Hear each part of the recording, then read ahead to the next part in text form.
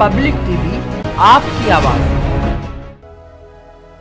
Gandhinagar roadways police चौकी पर कर्मचारियों को स्वास्थ्य किट और रोडवेज़ पर दुकानदारों को मास्क वितरित किए गए और नीरज मित्तल ने व्यापारियों को वैक्सीन लगवाने के लिए अनुरोध किया।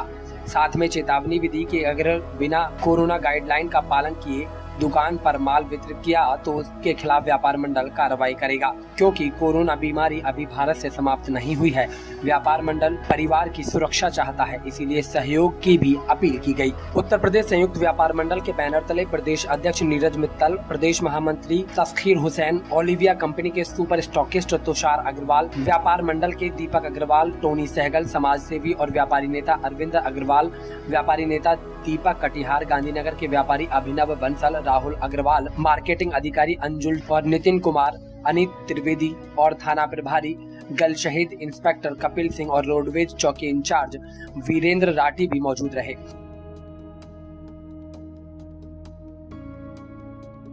संयुक्त व्यापार मंडल के प्रदेश अध्यक्ष श्री नीरज मित्तल जी के संग हमने आज लोगों को जागरूक किया है। कोरोना के प्रति मास्क बांटे गए हैं।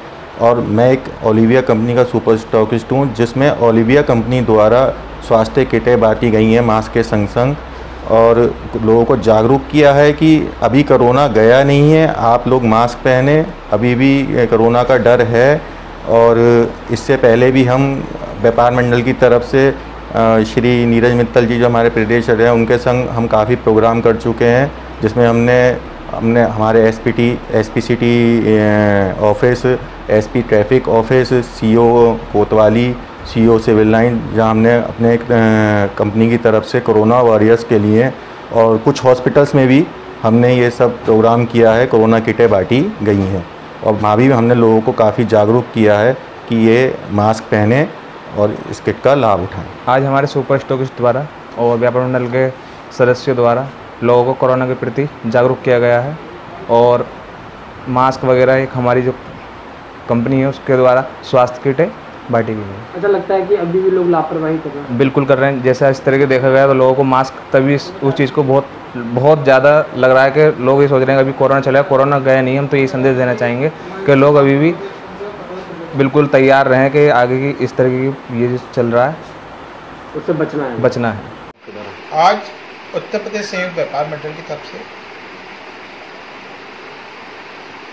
ओलिवा कंपनी की जो स्वास्थ्य किट है, उस स्वास्थ्य किट को और हम लोगों ने मास्क रोडवेज़ चौकी पर बांटे थे और पुलिस कर्मचारियों को भी हमने स्वास्थ्य किट दी थी, जिसमें एसओ गल सहित और रोडवेज़ चौकी इंचार्ज और पुलिस कर्मचारी उपस्थित रहे और उन्होंने सराहना की कि व्यापार मंडल इस तरह का कार्य कर रहा है।